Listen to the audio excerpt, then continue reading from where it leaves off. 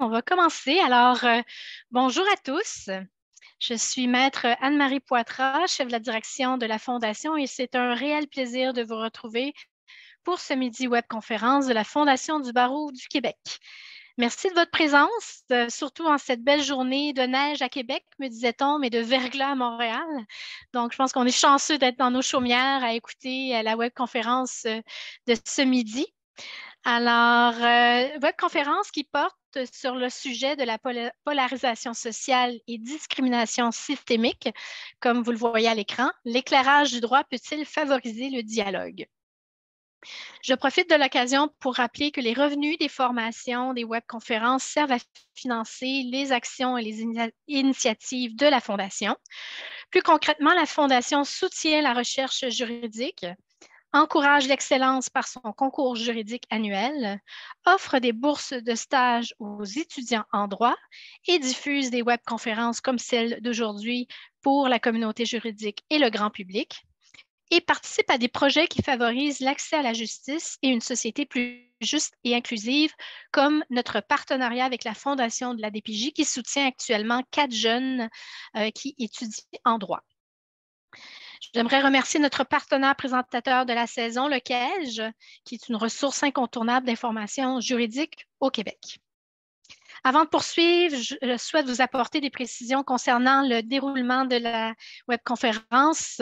Comme à chaque fois, la période de questions aura lieu à la fin de la présentation de nos invités et vous pouvez utiliser euh, la section questions et réponses, le Q&A au bas de l'écran pour poser vos questions.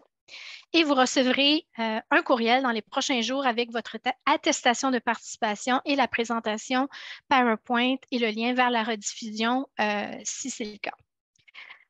Pour cette webconférence, nous avons le plaisir d'accueillir Maître Charles Tremblay-Potvin, professeur adjoint à la Faculté de droit de l'Université Laval, et M. Hugo Gilbert Tremblay, nouvellement professeur adjoint à la Faculté de droit de l'Université de Montréal, et que nous le félicitons au passage, encore une fois. Tous les deux sont récipiendaires du programme de subvention 2020-2021 de la Fondation pour leur projet de recherche sur la juridicité et la normativité du concept de discrimination systémique en droit québécois. Maintenant, une présentation un petit peu plus euh, précise sur chacun de nos euh, invités. Euh, Maître Charles Tremblay-Potvin est professeur à la Faculté de droit de l'Université Laval. Il a consacré ses études doctorales à l'étude des conflits de travail qui ont traversé euh, les entreprises médiatiques québécoises au cours des dernières décennies, ce qui lui a valu une inscription au tableau d'honneur de la Faculté des études supérieures et postdoctorales de l'Université Laval. Son mémoire de maîtrise portant sur l'affaire Walmart de Jonquière s'est vu décerner le prix Minerve et a été publié sous forme de monographie par les éditions Yvon Blais. Maître Tremblay-Potvin a complété sa licence à la section de droit civil de l'Université d'Ottawa, remportant ainsi la médaille d'argent de sa promotion. Pour sa part, titulaire d'un doctorat en droit de l'Université de Montréal et en philosophie de l'Université de Genève, professeur Hugo Gilbert Tremblay est, euh, comme on le disait, professeur à la faculté de droit de l'Université de Montréal. Il a fait sa thèse de doctorat qui portait sur l'impact potentiel des neurosciences sur le concept de responsabilité criminelle et a remporté en 2022 le prix Thémis de la meilleure thèse québécoise en droit ainsi que le prix de la meilleure thèse au Canada dans la catégorie arts, sciences humaines et sciences sociales prix de la thèse avec distinction ProQuest de l'Association canadienne pour les études supérieures.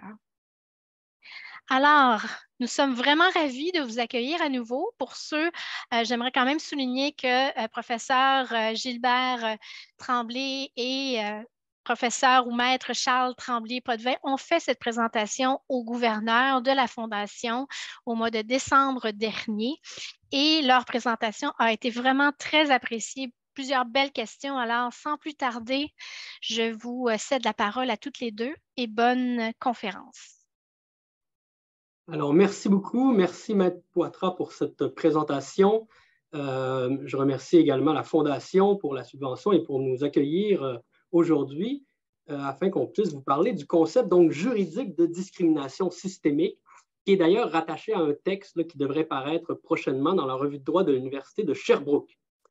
Alors, cette étude euh, sur la discrimination systémique euh, part d'un constat hein, que vous avez euh, peut-être fait vous-même, un constat relatif à, disons, l'ampleur de la polarisation sociale qui a émergé autour de, ce concept dans les dernières années au Québec. Hein. Lorsqu'on regarde dans le dialogue social, disons, les différents camps qui s'affrontent sur la question. On a l'impression qu'ils ne parlent pas de la même société. On a d'un côté des gens qui nous disent que la discrimination systémique ou le racisme systémique est partout, en quelque sorte, euh, au fondement des sociétés occidentales. Et de l'autre côté, euh, certaines personnes qui nient complètement la pertinence du concept de discrimination systémique pour décrire notamment la société québécoise. Alors, pour notre objectif étant de, disons, euh, remettre, revenir à un débat raisonnable sur cette question, on s'est dit qu'un bon point de départ serait de retourner à la base du concept tel qu'il s'est élaboré notamment en droit et dans les sciences sociales, parce que le droit, sous l'impulsion de certaines branches des sciences sociales, a joué un rôle de premier plan dans l'élaboration du concept de discrimination systémique. Donc, l'objectif est simplement d'exposer euh, ce concept tel qu'il est défini en droit canadien et québécois, euh, dans le but d'établir des bases raisonnables pour un débat serein sur la question de la discrimination systémique au Québec. Donc, c'est un objectif qui peut paraître modeste, qui est plutôt modeste, mais quand même, lorsqu'on s'intéresse au concept, euh, même sur le plan juridique, on rencontre rapidement des écueils.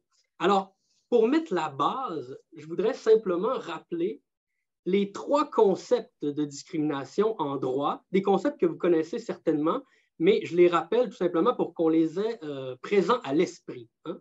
Alors, juridiquement, on va distinguer la discrimination directe, indirecte et systémique. Donc, la discrimination directe, vous le savez, c'est lorsque on va établir une distinction directement sur un motif prohibé le droit à l'égalité qui est garanti par les chartes. Par exemple, la retraite obligatoire à partir d'un certain âge pour, pour certaines fonctions comme les juges, par exemple, c'est une discrimination directe sur la base de l'âge, ce qui n'empêche pas que la discrimination puisse être par ailleurs justifiée. Mais si on regarde uniquement le concept de discrimination, on a ici une discrimination directe.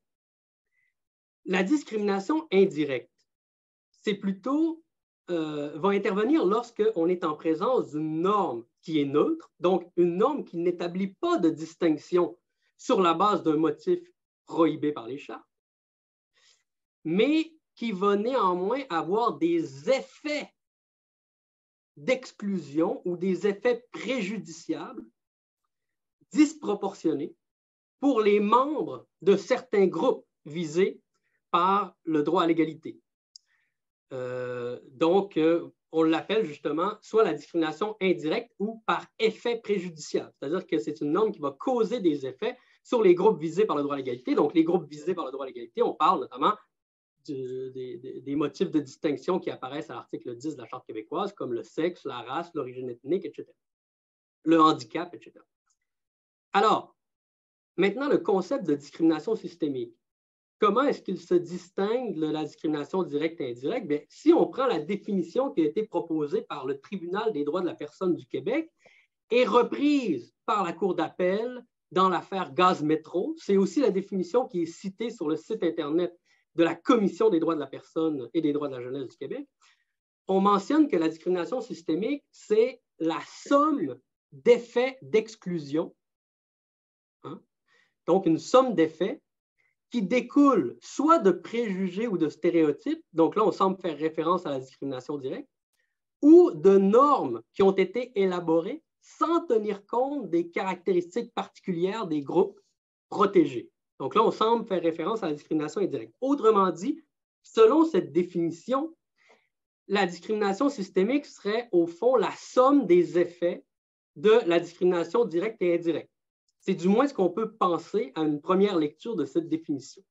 Donc, nous, la question qu'on se pose, c'est est-ce que le concept de discrimination systémique n'a pas une signification euh, qui va dépasser cette somme des effets de la discrimination directe et indirecte? Autrement dit, on pose la question, est-ce que le concept de discrimination systémique ajoute vraiment, comporte une plus-value tant sur le plan sémantique, c'est-à-dire au niveau de la définition juridique, que sur le plan normatif, c'est-à-dire que ce concept va permettre de justifier ou de mettre en œuvre des normes qui n'existent pas si, on ne tient compte que de la discrimination directe et indirecte. Autrement dit, est-ce que le concept de discrimination systémique permet euh, d'obtenir des règles supplémentaires ou de justifier des règles supplémentaires qui ne découlent pas directement du droit à l'égalité?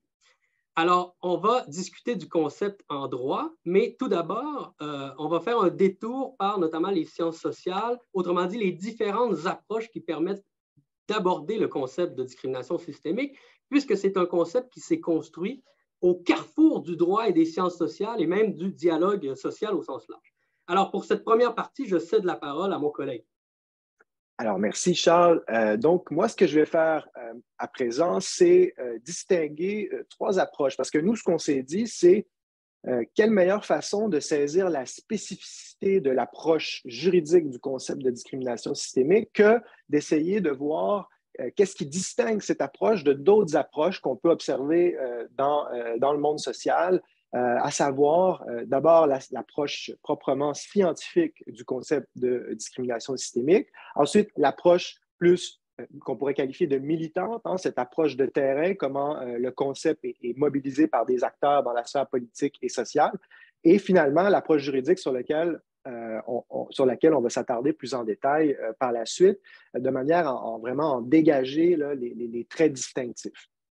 Donc, je commence sans tarder avec l'approche scientifique du concept de discrimination systémique. Donc, l'approche scientifique euh, de euh, la discrimination systémique soulève d'abord la question de savoir, la grande question, peut-être que vous n'attendiez pas à, vous poser cette question-là sur l'heure du dîner aujourd'hui, la question de savoir qu'est-ce que la science, en fait. C'est-à-dire, euh, quels sont les critères, hein, en philosophie, on appelle ça l'épistémologie, quels sont les critères qui permettent de distinguer euh, la connaissance euh, d'une croyance, par exemple. Hein. Qu'est-ce qui permet de savoir qu'on est face à une, vérité qui est empiriquement fondée versus une opinion qui, relève plus finalement de la subjectivité ou des, préjugés? Donc, euh, la question de savoir qu'est-ce que la science, on peut l'aborder brièvement ici. Ben, en identifiant donc ces, caractéristiques principales, une de ses premières caractéristiques à la science, en fait, c'est d'avoir une, de poursuivre une visée qui est d'abord et avant tout descriptive. Le but de la science, ce n'est pas de prescrire des, des, actions à, adopter, ce n'est pas de, de prescrire l'adoption de certaines normes, de certaines lois. Le but de la science, c'est strictement d'observer la réalité, donc de la décrire euh, euh, en, faisant, fi de toute, question relative aux normes. Comment fonctionne la science? On a chacun une compréhension relativement intuitive de, ce que c'est la science, mais à des fins de, rappel ici, la science consiste essentiellement à un, processus d'élaboration d'hypothèses et de, soumission de ces hypothèses à euh, des vérifications de nature empirique. Hein. L'image qui vient tout de suite en tête, c'est l'image du, laboratoire dans lequel le scientifique va essayer de reproduire des expériences pour pouvoir euh, finalement euh, vérifier la solidité de certaines hypothèses établies au préalable. Qu'est-ce qui fait qu'une hypothèse peut être qualifiée de, scientifique ou, peut répondre à ce qu'on appelle le critère de scientificité? Euh, il y a un des critères qui a été développé dans l'histoire euh, de la philosophie des sciences euh, au 20e siècle par le philosophe Karl Popper, qui est le critère de la falsifiabilité. Qu'est-ce qu'on entend par falsifiabilité? Donc, ça, c'est la, condition qui fait en sorte qu'on peut qualifier une hypothèse de scientifiquement valide ou, légitime. en fait, la falsifiabilité, c'est cette idée que pour être scientifiquement légitime, une hypothèse doit être falsifiable, c'est-à-dire qu'elle peut donner prise à une réfutation. On peut la, tester, on peut la vérifier empiriquement, on peut la soumettre à contre-argumentation rationnelle qui fait en sorte qu'on va pouvoir finalement soit la valider, soit découvrir sa fausseté ou découvrir ses limites ou ses imperfections. Donc ça, c'est le critère de la falsifiabilité.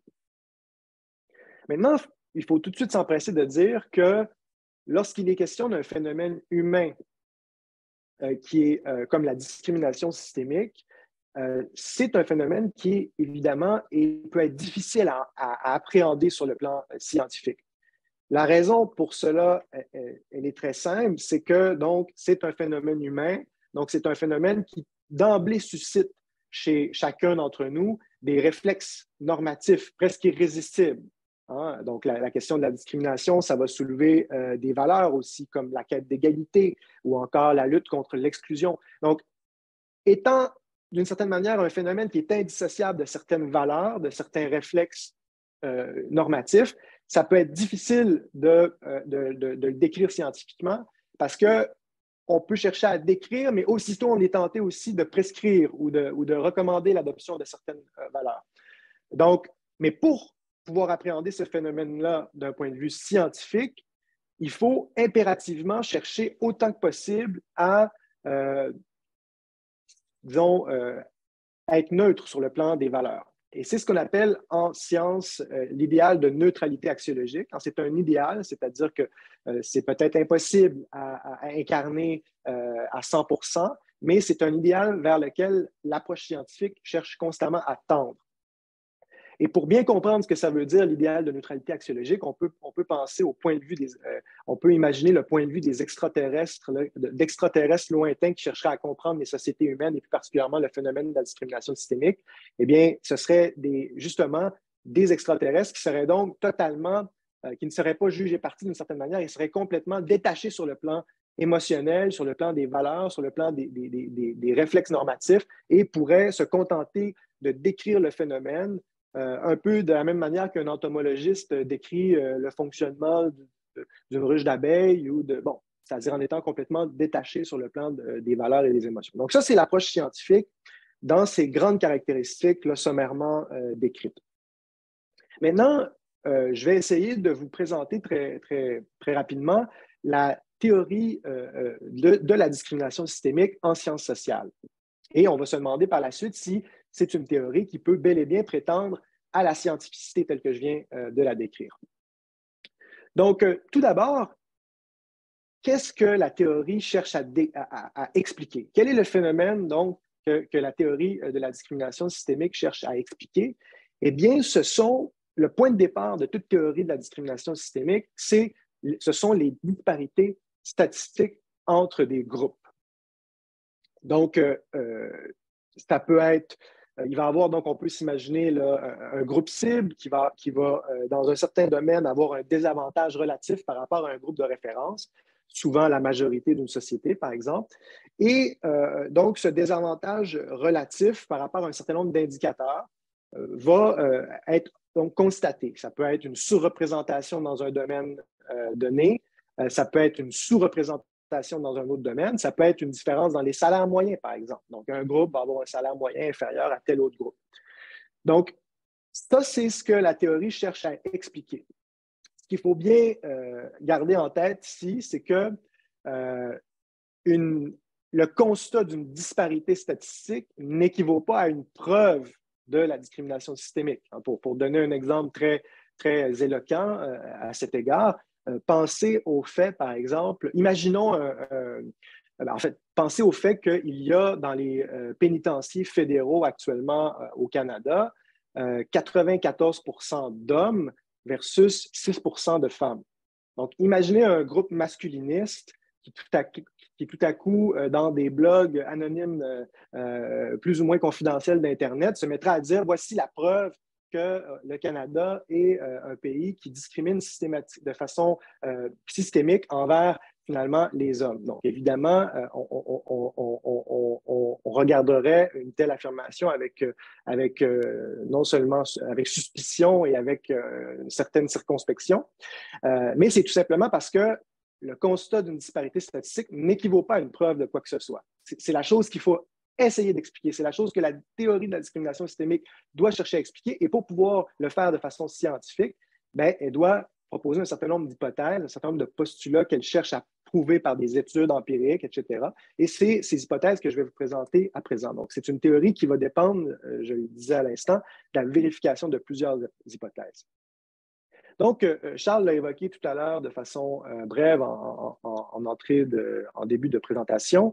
La première, le premier postulat hypothétique de la théorie de la discrimination systémique qu'il faut chercher à valider, c'est l'idée que donc la, discrimination systémique va euh, résulter de la discrimination directe et indirecte, passée ou présente. C'est-à-dire que, euh, donc, euh, on observe, soit dans le passé ou soit dans le présent, de la discrimination directe et indirecte. Ça crée une accumulation et ça suscite dans la trajectoire individuelle des membres de certains groupes des obstacles, par exemple de nature socio-économique. Hein. Donc, euh, la personne euh, va euh, avoir des obstacles et ça crée un désavantage relatif par rapport aux autres groupes. Le deuxième postulat hypothétique qui est souvent nécessaire à la démonstration de la théorie dans son ensemble, c'est l'idée d'un effet de blocage, c'est-à-dire, on parle aussi en anglais de chilling effect, c'est-à-dire que les obstacles économiques, comme je le disais tout à l'heure, qui découlent d'une discrimination directe et indirecte passée ou présente, vont avoir pour effet vont avoir un effet psychologique de découragement, de blocage chez les membres du groupe en question qui est désavantagé. Et ça va pouvoir avoir pour effet qu'une portion significative des membres de ce groupe vont finalement renoncer à poursuivre certains objectifs économiques, par exemple. Donc là, on peut penser à des gens qui vont, en raison des, obstacles socio-économiques ou de la perception de ces obstacles-là vont renoncer à poursuivre, euh, euh, à, postuler à certains emplois, par exemple. Donc, ça va avoir pour effet euh, de creuser encore plus les disparités. Donc, il y a cet effet d'approfondissement des, des, disparités. On va parler ensuite d'un effet de naturalisation, c'est-à-dire que en raison de cette auto-exclusion d'un certain nombre des membres euh, du groupe cible, euh, on va finalement euh, constater que les, bon, les disparités vont, vont s'accroître et de plus en plus, dans le monde social, va se répandre cette idée que finalement, les disparités résultent d'une sorte de, logique naturelle, c'est-à-dire que, et d'où l'idée de naturalisation, c'est-à-dire que finalement, les inégalités dépendent finalement de la volonté des acteurs sociaux eux-mêmes. C'est eux qui n'ont pas voulu postuler à tels emplois, qui n'ont pas euh, euh, euh, décidé de poursuivre tel objectif de, carrière, ou etc. Et donc, finalement, ça dépend du libre jeu des préférences. et donc, il n'y a rien d'autre que, ça. On va parler de la méritocratie, par exemple, comme, étant l'explication qui fait que certains ont poursuivi certains objectifs et d'autres non, et voilà le résultat, et c'est tout. Cet effet de naturalisation euh, va euh, évidemment renforcer un certain nombre de stéréotypes, et ces stéréotypes-là vont eux-mêmes être des véhicules de biais conscients et inconscients, à la fois de la part, à la fois chez les membres du groupe cible, qui vont, on va parler à ce moment-là d'internalisation, donc, les, personnes qui sont membres du groupe cible vont internaliser l'idée qu'ils euh, ne devraient pas euh, poursuivre tel objectif ou devraient se retirer de tel domaine de la vie sociale, etc. Mais aussi des biens conscients et inconscients qui vont se répandre euh, chez, dans le groupe de référence et plus particulièrement chez les personnes en autorité qui ont, qui ont un pouvoir concret de, finalement de, de permettre la, promotion sociale de certains individus. Et donc, euh, euh, qu'est-ce qui va arriver, euh, qu'est-ce qui va résulter de tout ça? Il va résulter que finalement, on, va avoir davantage de discrimination directe ou indirecte, des comportements discriminatoires qui vont découler de, cette, boucle-là. Et c'est ici qu'on parle justement d'un cercle, hein, c'est-à-dire d'une logique circulaire, d'une causalité circulaire on va parler aussi de, de, boucles récursives, hein, cette idée que, et là, on est vraiment dans le cadre de la théorie de la discrimination systémique, c'est-à-dire qu'on a finalement cette idée d'interaction entre chacune des composantes euh, que je viens de décrire, euh, et aussi de rétroaction, c'est-à-dire que chaque, euh, chaque élément finit par avoir un effet sur l'autre. Alors, la question qu'on doit se poser à la lumière de, de tout cela, c'est est-ce que cette théorie peut prétendre à la scientificité? Donc, ce que nos euh, recherches euh, nous amènent à, conclure, c'est que La réponse est oui. C'est-à-dire que ensuite, il peut y avoir toutes sortes de difficultés dans la démonstration en tant que telle. prouver chaque élément de la théorie peut parfois être difficile. prouver l'ampleur de la discrimination systémique peut probablement être encore plus difficile. Mais notre, notre constat, c'est que chacun de ces postulats, chacune de ces hypothèses, finalement, peut faire l'objet de, euh, de tests empiriques, d'études, de, et, donc, en ce sens-là, satisfait au critère que j'ai décrit précédemment, qui est le critère de la falsifiabilité. Et ça, c'est la condition pour pouvoir parler d'une théorie scientifiquement légitime qui peut être formulée et qui peut ensuite euh, être laissée euh, à, l'examen, à l'analyse scientifique. Donc, juste pour conclure sur cet aspect-là, donc euh, ici, j'espère que ça, a été euh, assez clair pour, tout le monde, c'est-à-dire qu'on voit bien que là, par rapport, et Charles va y revenir tout à l'heure, mais on voit bien que la discrimination systémique a quelque chose de spécifique par rapport aux deux autres concepts qui ont été mentionnés au début, à savoir la discrimination directe et indirecte. C'est vraiment cette notion de système d'interaction et de rétroaction. Donc, c'est tout ce que je voulais ajouter ici. Maintenant, je passe à euh, l'approche militante. Donc, euh, l'approche militante, euh, elle se distingue de l'approche scientifique par plusieurs aspects. Donc, je vais, euh, essayer de les décrire brièvement. D'abord, l'approche militante, par définition, son objectif premier, son objectif central, c'est la transformation du réel, la transformation du monde social, notamment la transformation des, normes, mais des lois plus particulièrement. Donc, elle est davantage tournée vers l'action, vers la transformation du monde que vers la description de la réalité. Son objectif premier, ce n'est pas de décrire comme euh, la science. L'approche militante peut se caractériser le plus souvent par, euh, en fait, se caractérise le plus souvent par une, certaine confusion des jugements de valeur et des jugements de fait, qui découle du premier point, c'est-à-dire que finalement, au nom de certaines valeurs, de certains, l'idéal d'égalité par exemple, on veut modifier la réalité sociale. Et ça, ces valeurs-là, elles, imprègnent l'action de part en part, ce qui fait que la perception même de la réalité finit par être teintée par ces, euh, jugements de valeurs-là.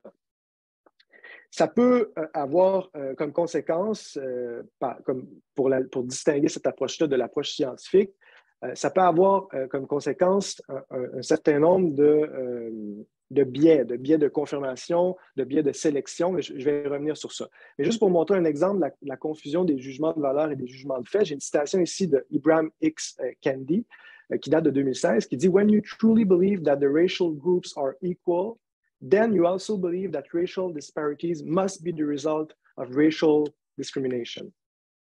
Donc ici, on a vraiment cette idée de, d'un côté, il y, a des, il y a des valeurs, la, valeur d'égalité qui, est centrale, et euh, de ces valeurs-là, de ce jugement de valeur-là, on saute tout de suite à la conclusion que la réalité sociale ne peut être euh, euh, finalement interprétée que d'une certaine façon et conduire à un certain nombre d'actions par conséquent. Donc, le, primat accordé aux idéaux et à l'action comme je le disais, se répercute inévitablement sur l'appréhension euh, de, la réalité. Donc, ça ne veut pas dire que l'approche militante va être coupée des faits. il ne s'agit pas de dire ça ici, évidemment, mais son rapport aux faits va être teinté par, les jugements de valeur, et ce qui fait qu'il va avoir, comme je le disais, certains biais qui peuvent euh, présider à la sélection des faits, euh, notamment, et à l'exclusion de certains faits qui pourraient atténuer finalement certains constats. Et le, meilleur exemple pour illustrer ça, c'est la figure de l'avocat. On pourrait dire que la figure du militant a, il y a des points communs entre la figure de, l'avocat et la figure du militant, parce que finalement, l'avocat, face aux données d'un problème juridique, il va euh, toujours interpréter les données du, problème juridique en question de manière à favoriser les intérêts de son client. C'est un peu la même chose avec le militant qui va interpréter les données de la réalité de manière à favoriser la cause à laquelle euh, il adhère. on verrait mal, on verrait mal un avocat finalement se mettre soudainement à, défendre la cause de son adversaire simplement parce qu'il a conclu que l'état du droit l'amenait plutôt du, côté de l'adversaire de son client. Ce serait un bien avocat. Et de la même façon, un militant serait un bien mauvais militant s'il si, il se mettait à, finalement à, contester sa propre cause. Alors, maintenant, ce que j'ai dit jusqu'à maintenant pourrait paraître euh, excessivement euh, critique, mais euh, il faut tout de suite s'empresser de reconnaître la dignité propre de l'approche militante, hein. c'est-à-dire qu'elle a d'une certaine manière les qualités de ses défauts, c'est-à-dire que l'approche militante, c'est une approche qui permet davantage l'action, euh, donc, on sait à quel point euh, plusieurs groupes dans l'histoire euh, ont historiquement persécuté ou marginalisé, ont pu, grâce à l'approche militante, finalement, favoriser des changements sociaux d'importance. Et le militantisme, de façon générale, implique un degré élevé de conviction. Hein. C'est des gens qui sacrifient du temps, de l'énergie à, certaines causes. Et en ce sens-là, il est tout à fait normal que le, doute euh, épistémologique du, scientifique, en sarreau blanc ne soit pas euh, une valeur première. Euh, le standard de preuve qui va être adopté par le militant va être plus faible nécessairement que le scientifique, mais c'est ce qui permet d'agir, hein, c'est ce qui permet d'agir d'une certaine manière. Et ce que je voudrais m'empresser de préciser aussi à l'instant, c'est qu'on peut, là, on pourrait s'imaginer deux personnes, euh, le, scientifique d'un côté puis le militant de l'autre, qui, qui, qui s'opposent de façon frontale. Mais la vérité, c'est que un scientifique peut très bien être un militant aussi. C'est juste qu'il ne peut pas l'être en même temps. Donc, il y, a, un moment pour essayer de comprendre le réel, d'écrire de façon scientifique, mais rien n'empêche une personne euh, ensuite de, manifester ou de militer dans certaines causes en changeant d'une certaine manière euh, d'approche, en adoptant une approche plus militante et donc en, modifiant son regard sur le monde en conséquence. Ça peut être difficile de combiner les deux, mais c'est une possibilité à tout le moins en théorie. Maintenant, qu'est-ce qui distingue l'approche juridique? Et Charles va développer davantage sur ça, mais je vais me contenter euh, ici de, vraiment distinguer l'approche juridique des deux approches que je viens d'énoncer. Donc, le droit subit l'influence des deux approches. Euh, on pourrait dire qu'elle euh, partage avec la science la recherche de la, vérité, puis elle partage avec les, militants euh, avec l'approche militante, euh, le fait de devoir poser des jugements de valeur. le droit ne, se contente, pas seulement de décrire, il doit aussi trancher des questions de valeur et donc s'aventurer sur le plan des, questions normatives. Qu'est-ce qui distingue, euh, là maintenant je vais m'attarder quelque peu à, qu'est-ce qui distingue plus fondamentalement le droit de la science, de l'approche scientifique? Eh bien, la grande distinction, c'est la nature, ce qu'on appelle la, nature décisionniste du droit, à savoir que le droit, euh, finalement, il n'a pas le choix de trancher. Il est confronté à des questions sociales extrêmement complexes et il ne peut pas, comme la science, être dans un processus sans fin de preuve contre preuve, attendre d'avoir, de respecter un standard de preuve extrêmement élevé avant de tirer telle ou telle conclusion. Le droit doit trancher, doit conclure, doit arbitrer des, litiges. Et en ce sens-là, euh, c'est une distinction euh, fondamentale. Et euh, de quelle façon le droit va construire sa propre vérité, qui va être une vérité qu'on pourrait qualifier de relative, c'est par toutes sortes de présomptions, fardeaux, de preuves, standard de preuves, qui va lui-même mettre en place de manière à construire la, réalité dont il a besoin en fonction de toutes sortes de critères qui sont propres au droit. Hein, on peut penser aux différents euh, fardeaux de preuves en droit, euh, aux, fardeaux de persuasion qui peuvent être sur une partie ou sur l'autre, et euh, en droit du travail, on peut penser euh, aux, présomptions qui, cherchent à remédier au déséquilibre entre l'employeur et l'employé et qui peut chercher à finalement corriger certaines inégalités en termes de rapport de force par un jeu de présomptions.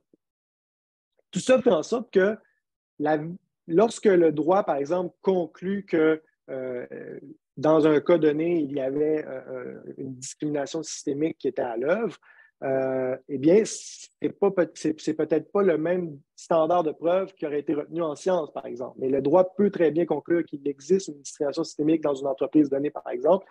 Euh, avec ses propres fardeaux de preuve. De la même façon, si le droit conclut qu'il n'y a pas de discrimination systémique dans un, domaine donné de la vie sociale, ça ne veut pas dire qu'il n'y en a pas. C'est juste qu'en fonction de ses, standards de preuve, de ses fardeaux de preuve, il a conclu qu'il n'y en avait pas. Donc, un peu de la même façon qu'en droit criminel, on va dire qu'un verdict d'acquittement n'équivaut pas au fait que le crime n'a pas été commis.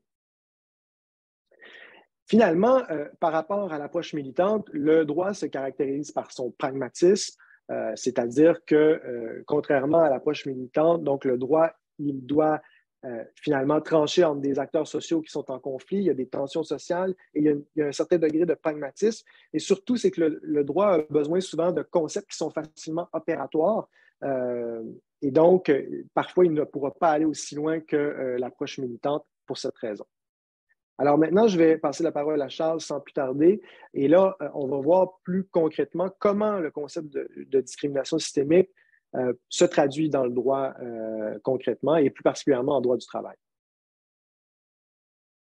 Alors, la question que je vais aborder maintenant, c'est, alors mon collègue Hugo a bien exposé les éléments du concept de discrimination systémique tel qu'on le retrouve notamment en sciences sociales.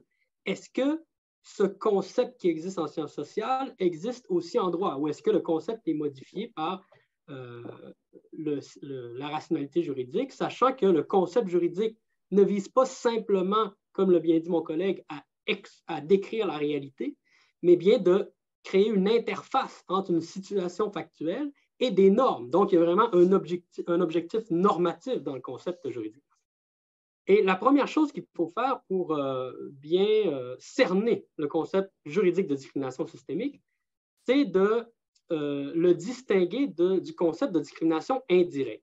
Hein. Le concept de discrimination indirecte existe depuis 1985 en droit canadien. Il provient du droit américain, mais il est souvent confondu avec la discrimination systémique. Pour preuve, vous avez une décision récente, l'arrêt Fraser contre Canada en 2020, rédigé par la juge Abella, qui parle, euh, c'est un cas de discrimination indirecte, mais elle parle souvent, euh, la, Cour suprême mentionne euh, la discrimination indirecte ou systémique, et systémique. Autrement dit, il semble y avoir une certaine confusion entre ces deux concepts, même dans la jurisprudence. En plus. Or, on peut comprendre les causes de cette confusion si on regarde l'origine justement du concept de discrimination indirecte, qui provient essentiellement de l'arrêt Griggs aux États-Unis qui est cité par les tribunaux canadiens jusque dans l'arrêt Fraser en 2020, qui s'appuie encore sur l'arrêt Griggs, et qui est la première grande décision aux États-Unis où on a euh, euh, reconnu un cas de discrimination indirecte. Donc, dans cet arrêt, on a la Duke Power Company qui, euh, auparavant, effectuait de la discrimination à l'égard des Noirs, des Afro-Américains, en les confinant à un département de son entreprise, le département le moins convoité du travail manuel. Et euh, avec l'adoption du Civil Rights Act aux États-Unis, la fin de la ségrégation raciale dans les années 60, hein, alors la Duke Company ne pouvait plus euh, effectuer cette discrimination directe à l'égard des, euh, des afro-descendants. Donc, ce qu'elle a dit, c'est très bien, on va ouvrir les autres départements à tous les employés, mais pour les autres départements, autres que ce département moins convoité qui était réservé aux, Afro-Américains, on va ajouter des exigences. C'est-à-dire que pour postuler aux autres départements, il va falloir détenir un diplôme d'études secondaires et passer des tests d'aptitude cognitive, notamment le fameux euh, test Bennett de compréhension mécanique. Je le mentionne parce que je vais y revenir tout à l'heure. Alors, euh, euh, ces exigences, là, il n'y a pas de discrimination directe, hein, mais ces exigences ont été tout de même contestées. Et la Cour suprême a conclu qu'il y avait discrimination parce que les Afro-Américains sont moins nombreux à détenir un diplôme d'études secondaires et ont moins tendance à réussir les tests que leurs collègues blancs. Donc, les exigences imposées par l'employeur avaient des effets d'exclusion disproportionnés à l'égard des Noirs. Et euh, dans la décision, on conclut que ça, c'est suffisant pour conclure une discrimination. Et comme l'employeur n'a pas réussi à justifier ces mesures en prouvant que ces exigences pour les autres postes étaient nécessaires pour assurer l'efficacité du travail et la poursuite des objectifs légitimes de l'employeur, eh bien, les normes n'étaient pas justifiées et devaient donc, être abolies. Autrement dit, l'employeur n'avait pas le droit d'ajouter ces exigences. Et la raison pour laquelle on peut confondre ce concept avec la discrimination systémique, c'est que la Cour suprême mentionne au passage l'arrêt Gaston County, dans laquelle la Cour suprême avait euh, déclaré euh, discriminatoire une règle qui obligeait les Afro-Américains dans le comté de Gaston, qui est situé en Caroline du Nord, donc toujours à la suite de la fin de la ségrégation raciale aux États-Unis, le comté de Gaston avait dit pour pouvoir aller voter, exercer le droit de vote, il va falloir passer un test de littératie. Et les Noirs échouaient davantage le test que les Blancs. Et donc, la Cour suprême dit, vous savez, pendant la ségrégation raciale, c'est connu que les Afro-Américains avaient accès à un système d'éducation qui était de moins bonne qualité que les autres. Donc, il ne faut pas se surprendre qu'ils soient euh, maintenant plus nombreux à échouer le test de littératie. Donc, autrement dit, cette norme, ce test de littératie, a pour effet d'exclure davantage les Noirs et, leur exclusion découle d'une discrimination historique. Donc là, vous avez des, éléments de la discrimination systémique euh, qui, ont été mentionnés tout à l'heure d'une certaine manière parce qu'on mentionne une discrimination passée qui continue d'avoir des effets dans le présent, euh, avec des effets d'exclusion dans une sorte de système de rétroaction, etc. Donc, et pourtant, c'est un cas de discrimination indirecte dans l'arrêt Griggs. Mais ce qui ressort clairement de l'arrêt Griggs, c'est que l'arrêt Gaston County est mentionné au passage. Mais la Cour dit clairement que tout ce qu'on a besoin de démontrer pour faire la preuve de la discrimination indirecte, c'est qu'une norme a des effets statistiques, des effets d'exclusion ou un, ou créer un préjudice plus grand, disproportionné, pour les membres des groupes protégés. On n'a pas besoin de faire la preuve des éléments euh, qu'on a vus tout à l'heure du concept de discrimination systémique qui est relativement complexe. Et ça, cette conception de la discrimination indirecte a été adoptée par la Cour suprême en 1985, notamment dans les affaires Simpson-Sears et Binder. Alors, euh, c'est finalement en 1987 que la Cour suprême va vraiment aborder le concept de discrimination systémique dans l'affaire du CN, l'affaire Action-Travail des femmes contre le Canadien national. Donc, le Canadien national, euh, entreprise de chemin de fer, qui euh, présentait un taux euh, anormalement bas de femmes dans ses rangs. Autrement dit, même si on regardait euh, tous les travaux manuels au Canada, les femmes sont moins représentées dans les travaux manuels au Canada en général, mais c'était encore plus bas que ça et nettement plus bas au sein du CN. Donc, il y a eu des enquêtes qui ont été faites, et la preuve dans l'affaire Action Travail des femmes est très étoffée. Il y, a des, il y a des enquêtes qui ont été faites pour euh, essayer de comprendre cette sous-représentation des femmes au sein de l'entreprise. Et lorsqu'on lit l'affaire Action Travail des femmes, on s'aperçoit qu'il y a plusieurs éléments euh, qui ressortent euh, de la définition exposée par mon collègue. Premièrement, il y a des cas de discrimination directe et indirecte qui existent clairement dans l'entreprise. C'est-à-dire que, par exemple, pendant un processus d'embauche, on va soumettre les femmes à des, à des épreuves qu'on n'a pas imposées aux hommes. On va diriger directement les femmes vers certaines catégories d'emploi. Il y a aussi des cas de discrimination indirecte. Par exemple, on, impose ben, à tout le monde en fait, la passation du test Bennett de compréhension mécanique, le même que dans l'affaire Griggs. Et on sait que ce test défavorise les femmes également. Mais dans l'affaire Action Travail des femmes, il y a plus que ça. Ce qui ressort de la preuve, c'est une espèce de culture institutionnelle hostile à l'endroit des femmes il y a plusieurs stéréotypes qui circulent au sein euh, du personnel et notamment au sein des cadres. Les femmes elles-mêmes sont très conscientes de cette culture hostile et elles vont hésiter à euh, euh, prendre certaines décisions à cause de ça. Donc, on retrouve ici l'effet de blocage mentionné par mon collègue. et tout ça amène, en fin de compte, les gens à penser que les femmes sont tout simplement moins aptes à occuper un travail au sein du CN ou d'une entreprise de cette nature. Donc, on retient ici le, processus de naturalisation. Alors, la Cour suprême va conclure que dans le cas du CN, ce n'est pas seulement il n'y a pas seulement de la discrimination directe et indirecte, il y a vraiment une discrimination systémique qui s'est installée, qui s'est installée pardon, au sein de l'organisation. Et lorsqu'elle va définir la discrimination systémique, vous le voyez à l'écran, le passage de la décision, elle cite d'abord le rapport de la juge Abella lorsqu'elle était commissaire unique à la Commission royale sur l'égalité en, matière d'emploi, qui porte justement sur la discrimination euh, systémique en emploi.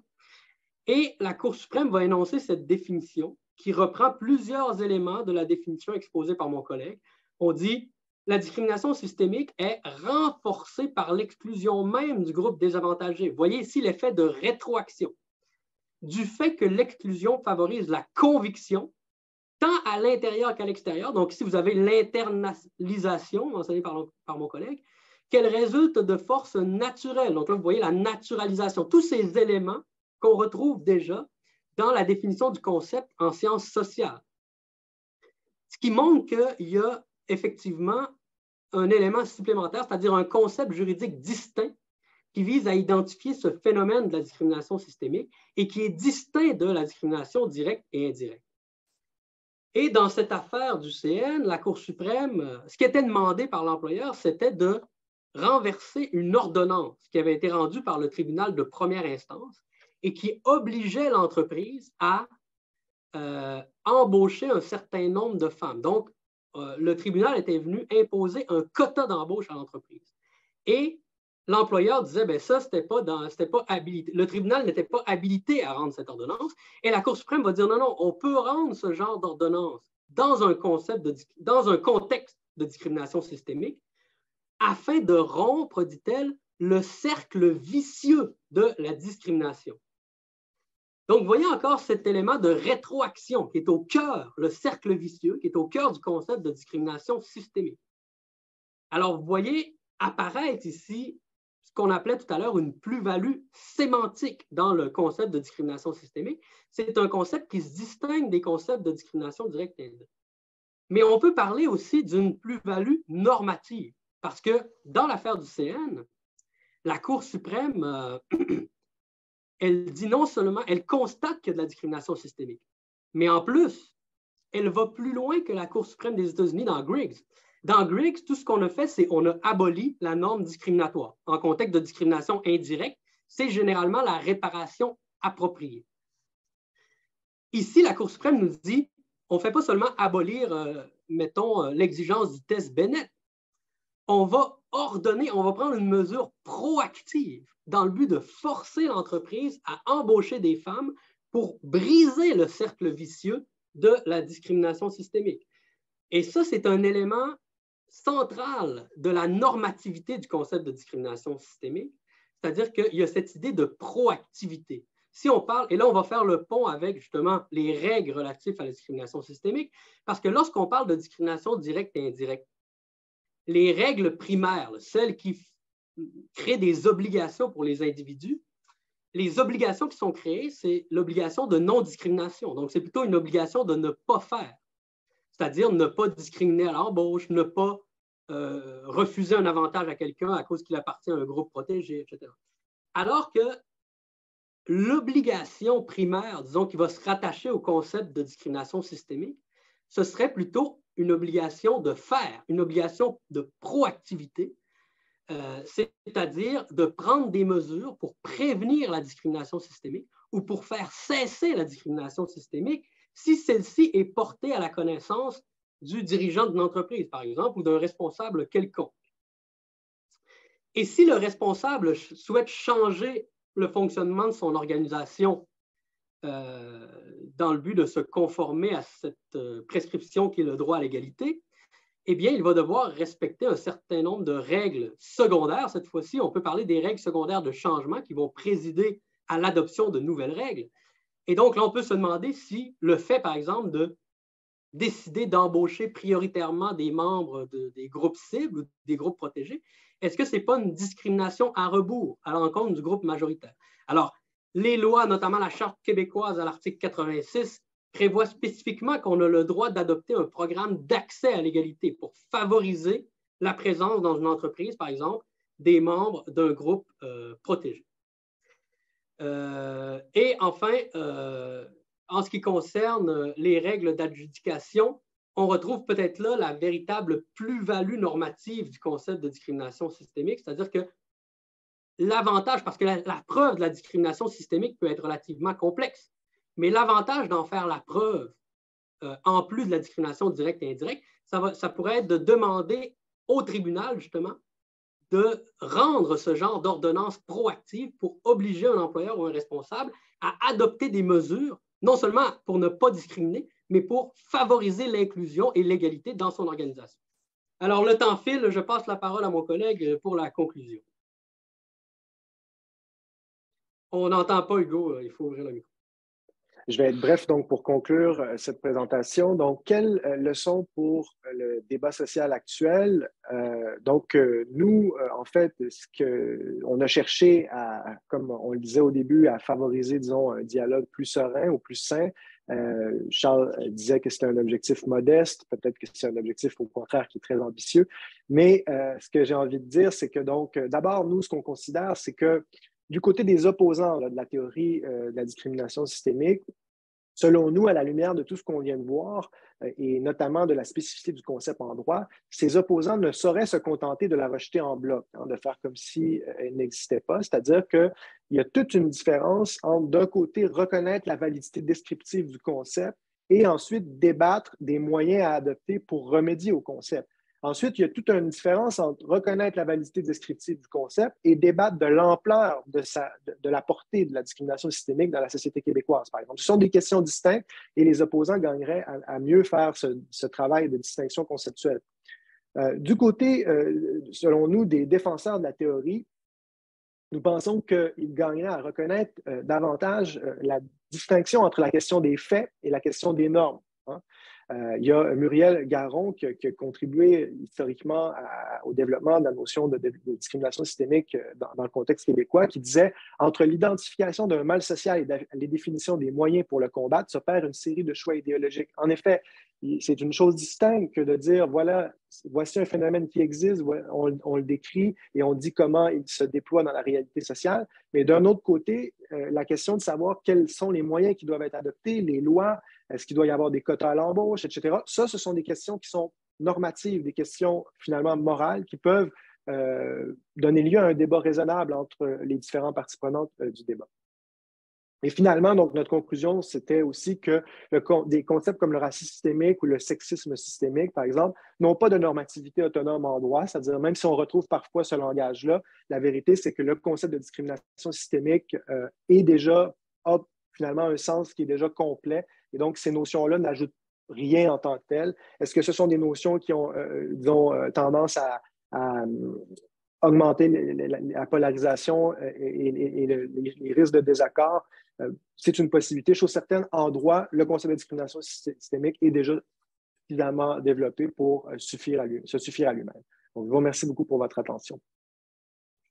Ben, merci encore une fois à vous deux pour euh, cette présentation. C'est la deuxième fois que je l'écoute et là, j'ai encore une fois, ça l'a comme confirmé pour moi des notions importantes dans cette définition de la discrimination euh, systémique.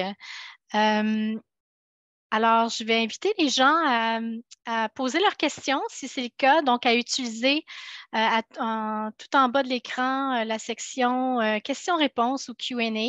N'hésitez pas, allez-y avec vos questions. Et puis, on a une dizaine de minutes là, ou un petit peu moins là, pour les questions. Donc, cette présentation PowerPoint nous sera-t-elle envoyée? Euh, bien sûr que oui. Hein. je pense que vous n'avez pas objection à partager avec les participants de, la formation euh, la présentation. Euh, ça, il n'y a pas de souci.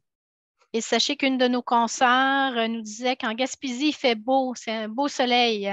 Alors, ici, ils sont chanceux parce qu'ici, mon Internet, là, celle de certaines de mes collègues, semble vouloir flancher. Alors, souhaitons-nous pas un deuxième, une deuxième tempête du verglas.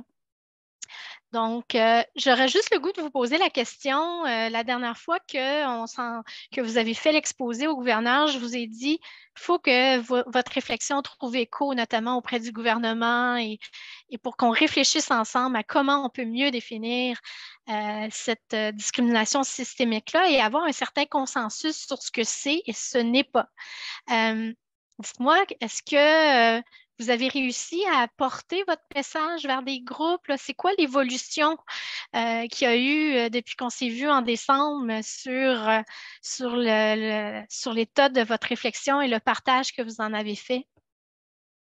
Bien, si je peux me permettre juste de répondre brièvement, je te passerai la parole ensuite, Charles. Bien, pour l'instant, en fait, euh, puisque notre l'article qui est censé paraître, qui résulte de nos, recherches, sur le concept de discrimination systémique en droit, n'est pas encore paru, donc il, devrait paraître dans les prochains mois dans la revue euh, de droit de l'Université de Sherbrooke. Eh bien, on espère à ce moment-là qu'effectivement, le fait que notre article soit accessible publiquement et puisse être lu par le plus grand nombre va par la suite propulser d'une certaine manière nos recherches encore plus et nous permettre justement de, débattre, de dialoguer avec euh, d'autres personnes. Donc, pour l'instant, euh, outre la fondation du barreau et là, les gouverneurs et aujourd'hui les, avocats qui sont présents, on, espère que ça nous sert de tremplin pour d'autres activités aussi dans l'avenir, d'autres euh, conférences notamment. Charles, tu voulais ajouter quelque chose? Ça va, c'est très complet. Parfait. On a des questions qui se sont ajoutées euh, rapidement. Donc, euh, nous avons euh, Maître Léger qui dit Bonjour, est-ce qu'il y a selon vous un désavantage à utiliser la notion de discrimination systémique au lieu de celle de discrimination indirecte? C'est intéressant parce que je parlais justement de la confusion entre les deux notions et c'est que en termes de discrimination, lorsqu'on parle de discrimination indirecte, normalement, on parle d'une norme quand même qui a des effets d'exclusion, comme on va mentionner. Une norme appartient toujours à un système. Donc, euh, si on prend une définition plus laxiste, disons, du concept de discrimination systémique, on pourrait dire que la discrimination systémique englobe la discrimination indirecte. D'ailleurs, ça fait partie aussi du système en tant que tel. Alors, c'est pour ça que des fois, on va parler de discrimination systémique alors qu'on parle d'un cas de discrimination indirecte et vice-versa. Alors, la question, est-ce qu'il y a un désavantage? Je pense qu'il y a un avantage à utiliser le concept de discrimination systémique lorsqu'on veut obtenir des en droit. Je mentionnerai en droit, moi je vais me limiter au domaine juridique. Peut-être que Hugo, tu ajouteras quelque chose euh, dans le dialogue social au sens large, mais en droit, je dirais que c'est pertinent d'utiliser le concept de discrimination systémique lorsqu'on veut obtenir des réparations qu'on n'obtiendrait pas dans un simple cas de discrimination directe ou indirecte. Euh, et d'ailleurs, la Cour suprême l'a mentionné dans l'arrêt Moore en 2012. Elle dit pour qu'on ait droit à des réparations proactives, comme des programmes d'accès à l'égalité, des quotas, des choses comme ça, il faut que la nature de la plainte soit approprié. Il faut que ce soit une plainte collective. Il faut plaider en quelque sorte la discrimination systémique et non seulement la discrimination indirecte, parce que dans l'arrêt Moore, euh, il y avait, euh, c'était un cas de discrimination indirecte notamment. Donc, euh, il peut être avantageux juridiquement de plaider la discrimination systémique lorsqu'on veut obtenir ce genre de réparation. Parfait. Est-ce que vous avez à ajouter, Hugo? Pas, particulièrement sur ça. Je voyais une autre question qui, apparaissait dans les questions sur la question de savoir euh, si euh, il y avait une distinction entre la discrimination systémique basée sur la race ou le sexe et le racisme systémique euh, ou le sexisme systémique. Et la réponse, en fait, sur le plan purement sémantique, par rapport au concept de discrimination systémique en droit, on pourrait dire qu'il n'y a pas de différence. Et d'ailleurs, la juge Arbour, dans un texte d'opinion qui avait paru dans le Devoir en 2020, euh, qui cherchait justement, elle aussi, à favoriser un dialogue plus pacifié, si j'ose dire, entre les différentes parties prenantes du débat. Elle concluait elle-même en disant que finalement, au lieu de, s'enfermer dans un débat euh, stérile de vocabulaire, elle, disait que le compromis du concept de discrimination systémique basé sur la race ou sur le sexe euh, pouvait permettre de ménager la chèvre et le chou, justement parce qu'elle percevait très bien qu'en fait, il n'y a pas de différence entre le concept de racisme systémique d'un côté et le concept de discrimination systémique basé sur la race. Euh, Parfait. Nous avons une autre question. Où en sommes-nous en droit positif sur le concept de discrimination indirecte? Est-ce encore nécessaire de faire la distinction direct et mhm. indirect. Donc, ça reprend. Oui, euh, ici, on, on, fait référence à l'arrêt Méorine de 1999, où la Cour suprême, en discutant des concepts de discrimination directe et indirecte, est venue abolir la distinction entre ces deux concepts, mais sur le plan normatif. Donc, ce qu'ajoute l'arrêt Méorine, c'est que la, méthode, si vous voulez, d'analyse à adopter en contexte de discrimination directe et indirecte est la même. Donc, il n'y a plus vraiment de distinction normative entre les deux concepts euh, en droit canadien. Il reste peut-être certaines différences accessoires, mais disons au cœur de l'analyse qui mène à l'obligation, la fameuse obligation d'accommodement raisonnable, tout le test de l'exigence professionnelle justifiée en, contexte d'emploi élaboré dans l'affaire Méorine. Donc, il n'y a plus de distinction normative. Ce qui est clair, par contre, c'est qu'il y a toujours une distinction conceptuelle. La discrimination directe et la discrimination indirecte sont deux concepts et il peut toujours être utile de bien faire la distinction entre les deux, ne serait-ce que euh, pour bien comprendre la nature de la plainte ou la nature de la discrimination qui est subie, autrement dit. Excellent. Donc, euh, on a Maître Montreuil qui nous fait un lien vers euh, un article. Peut-être qu'on vous l'enverra ou vous le prendrez en note euh, euh, toutes les deux. Puis si vous voulez répondre, on pourra transmettre l'information aux participants. Et on a une question, peut-être la dernière, parce qu'il est déjà une heure. Donc, pensez-vous qu'il est plus aisé et efficace d'apporter des arguments de discrimination systémique dans le cadre de recours collectifs? Est-ce que les tribunaux des droits de la personne devraient adopter de telles procédures? Vas-y, Charles. Une bonne question. Euh, je n'ai pas d'exemple en tête. C'est que lorsqu'on va devant le tribunal des droits de la personne, on n'a pas nécessairement besoin de faire un recours collectif parce que la compétence du tribunal est tributaire de celle de la commission des droits de la personne. Et donc, la Commission des droits de la personne a une mission d'intérêt public. Donc, la Commission peut prendre une plainte collective, elle peut faire enquête et elle peut porter devant le tribunal des droits de la personne euh, une plainte collective. Ce qu'elle va devoir faire si on veut faire la preuve de la discrimination systémique et obtenir des remèdes en conséquence. Euh, maintenant, c'est tout à fait possible d'imaginer que dans le cadre d'un recours collectif, ce soit pertinent d'invoquer le concept de discrimination systémique. Mais euh, je ne pourrais pas vous donner d'exemple. Il y a peu de décisions en matière de discrimination systémique euh, au Canada. J'ai mentionné l'affaire du CN, l'affaire Gaz Métro. Il y en a quelques autres. Il n'y en a pas beaucoup parce que c'est un concept qui est, on l'a montré, assez complexe. La preuve peut être difficile. Mais c'est un concept qui sert aussi, je n'ai pas eu le temps d'en parler pendant la présentation, mais je peux en glisser un mot, qui peut servir de standard politique dans une approche politique ou militante, justement, euh, et là qui va faire davantage référence à un idéal d'égalité pour justifier des nouvelles normes. Et ça, le législateur lui-même le fait quand il adopte, par exemple, la loi sur l'équité salariale. Il dit dès l'article 1, c'est pour remédier à la discrimination systémique salariale entre les sexes. Mais quand on bénéficie de la loi sur l'équité salariale, on n'a pas besoin de faire la preuve de la discrimination systémique. Donc, il y a peu de décisions précises sur des cas de discrimination systémique authentique dans la jurisprudence, mais le concept de discrimination systémique demeure très structurant et mm-hmm. a beaucoup influencé l'évolution du droit canadien. J'ajouterais juste sur cet aspect-là, effectivement, on n'a pas eu l'occasion aujourd'hui de parler du droit pénal, mais euh, c'est la même chose qui se vérifie aussi dans le domaine notamment de la détermination de la peine en ce qui a trait aux délinquants autochtones. lorsque le législateur a adopté euh, en 1996 l'article 718.2e qui consiste justement notamment à réserver un traitement particulier aux délinquants autochtones pour ce qui est de déterminer la peine, pour tenir compte notamment des facteurs euh, dits systémiques dans euh, la, la, sur-incarcération des, personnes autochtones, eh bien, la, dimension, de, la question de la discrimination euh, systémique était en amont, d'une certaine manière, de l'adoption de cette, de, cette, modification du code criminel. Et par la suite, donc, ça joue en amont, mais ensuite, ça peut jouer aussi euh, euh, dans, chaque cas, mais donc, euh, la question de la preuve se pose moins dans le cas de la détermination de la peine parce que la question des facteurs systémiques en ce qui a trait aux Autochtones, euh, c'est connaissance d'office. Donc, c'est déjà, d'une certaine manière, considéré comme un fait bien établi qui peut être pris pour acquis. Ensuite, toute la question consiste à savoir dans quelle mesure il y a un lien contributif entre ces facteurs systémiques-là et la trajectoire particulière d'un délinquant autochtone. Mais ça, c'est une autre question et ça sera pour une autre conférence. Ben oui, pourquoi pas